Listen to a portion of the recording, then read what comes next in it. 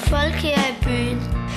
De kan få hjælp med at flytte deres penge til skattely. Jeg skal selv være bankmand, og det er nu trist. Jeg vil hellere være IT-specialist. Min far har et firma, noget med IT, en slags karusel.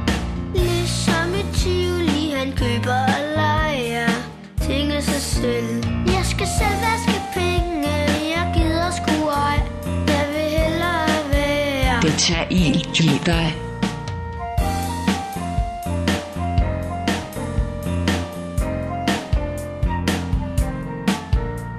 Min far, han er tyv, han kan røve en bank eller pengetransport.